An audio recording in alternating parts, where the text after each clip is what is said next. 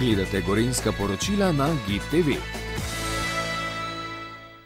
Po babičinem pripovedovanju z Berto Golob je sledila delavnica z bosonogo jogo.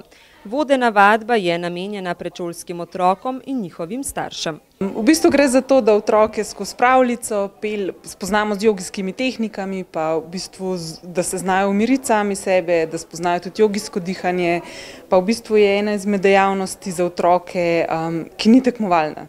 Se pravi, tukaj se ne tekmuje, se ne primerja, ampak v bistvu da uživajo v svojem telesu, da spoznavajo svoje telo. Otroci so skupaj z vaditeljico pripravili velike blazine za mehkejšo podlago, s kockami za sedenje sklenili krok, se usedli, naredili položaj preste in bili pripravljeni na sprostitveno doživetje. Vadba je potekala v pravljici pod medvedovim dežnikom. Kaj pridobijo otroci z bosonogo jogo? V bistvu gibanje, se pravi ta naravno gibanje, se pravi te jogijske položaje, ki jih imajo otroci že v sebi, ohranjajo, ker, ker časoma zgubijo, recimo otroci se zelo rad v strešico, ker jogijski položaj postavijo že sami od sebe, zelo majhni, po enem letu.